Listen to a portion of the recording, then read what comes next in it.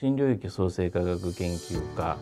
人間環境学専攻の、え、奥田博です。計算科学といって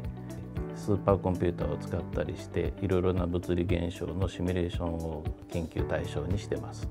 このコース名は Proactive Research Commons と言います。前半で2つの異なる分野のコースを取って後半ではその2つを組み合わせることで新しいものを作り上げると。いうふうな内容です。新領域創生科学研究科は柏キャンパスにあって、えー、学融合っていうものを標榜しているようにいろいろな分野の先生が一つのキャンパスの中にいらっしゃいますいろいろな研究リソースとかあるいはそれを、えー、教育用に展開してくれてるような機会がたくさんありますので複数のスキルをまず身につけてそれからそれを組み合わせて新しいものにつなげるというふうなものを教育プログラムとして展開する非常にいい環境にあるとそれを利用したプログラムです複数の学生さんでグループを組んで最終的に一つの成果物をみんなで作り上げるというふうなことが多いみたいです。それはえっと、横でアドバイスしてくれる指導教員の先生と、まあ、いろいろ相談をしながら進めてるみたいです。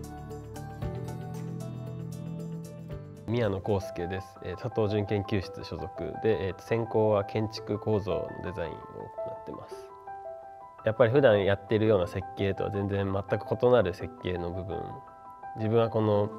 稼働動く部分の設計を行ったのでなかなか普段では考えられないようなそのスタディの仕方だったりとかそういうのが自分にとってはかなり刺激的でした。今コロナが流行っていて食堂だったりオフィス空間だったりパーティションっていうのが結構置いてあると思うんですがアクリル板だとなかなか会話とかもなかなかしづらいので布で、まあ、マスクのような効果を出しつつというようなパーティションを作りました。やっぱり食堂であったりオフィスの隣り合った席であったり会話が必要な時だけ幕が閉じてくれる。で普段ずっと喋っているわけではないような空間にかなり適したものかなと思います。社会文化環境学専攻佐藤準研究室の伊勢坊健太です。僕たちのグループは構造班とセンシング班がきっぱり分かれていてそれぞれで進め後で合体させるという形になりました。この木の形全体が人の呼吸に合わせて揺れて人がこの木の揺れを抑えようとすることによって呼吸がどんどん落ち着いた方向へ向かうといったものになっています。針部分を2ミリ角のヒノキの棒で作っていてそれらを 3D プリントで作ったジョイントでによって全体を構成しています。寝室などに置くことによってまより睡眠に入りやすいリラックスできるようなリラックスを促すものとして使えると考えられます。ここの授業でなければその 3D プリンターというものはたくさん使えないわけでそれをふんだんに使用したこの大きいものを作れたっていうのが一番楽しかったです。人間環境学専攻奥田研究室の和田和弘です。複数の分野にまたがって知識を得ることができてその知識を実際に複合して実践することができるというところに惹かれてこのコースを取りました。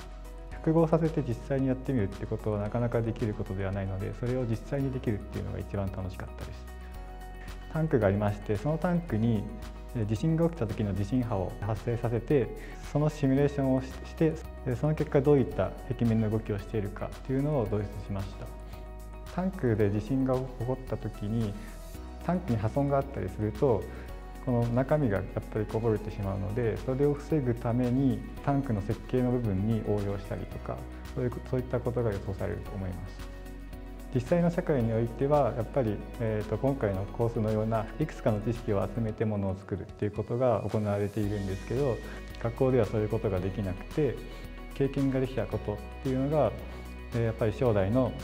ものを作るっていった時に役に立つと思います。